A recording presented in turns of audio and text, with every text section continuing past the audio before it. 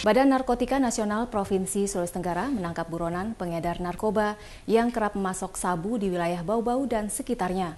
Pengedar narkoba ini tertangkap saat hendak melarikan diri ke sebuah pulau terpencil.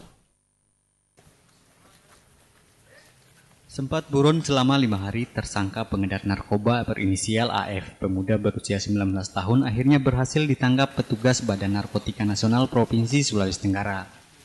Pemuda yang diduga sebagai bagian dari jaringan pemasok sabu di Baubau tersebut ditangkap pada Kamis sore di Pelabuhan Topa, Kota Baubau saat hendak naik ke atas kapal lintas pulau. Rencananya AF akan melarikan diri ke sebuah pulau terpencil bernama Pulau Kadatua di wilayah Kabupaten Buton Selatan. Pemuda tersebut telah ditetapkan sebagai tersangka dan masuk dalam daftar pencarian orang yang dirilis Polres Baubau sejak lima hari lalu. Ditangkapnya tadi di kebetulan di sekitaran Topa, rencana dia mau melarikan diri ke Kadatua.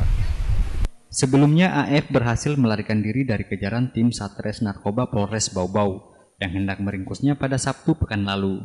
Saat itu pelaku meninggalkan barang bukti berupa 2,7 gram narkoba jenis sabu-sabu di kompleks asrama Kodim Bau-Bau. Dari Bau-Bau Andi Eba memberitakan.